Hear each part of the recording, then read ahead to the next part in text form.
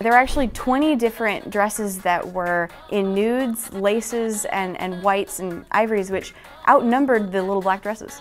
The other thing I noticed massively was um, the trumpet hemline and the, the mermaid hemline. It was impossible to avoid, it was everywhere. Strapless, sweetheart neckline, fishtail hem. There's a lot of bling, a lot of nudes.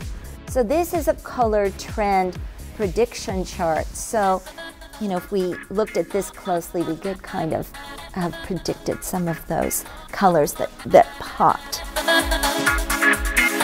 I really like the classy signature, you know, evening gown look of especially Adele. She always looks, always looks gorgeous, but that simple black. And then Anne Hathaway had a really pretty white dress on that had a little bit of a lace detail that was just absolutely gorgeous.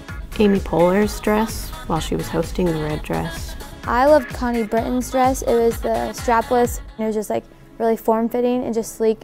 My favorite dress was Jennifer Lawrence. Oof. Kelly Osbourne, I'm telling that dress was awful.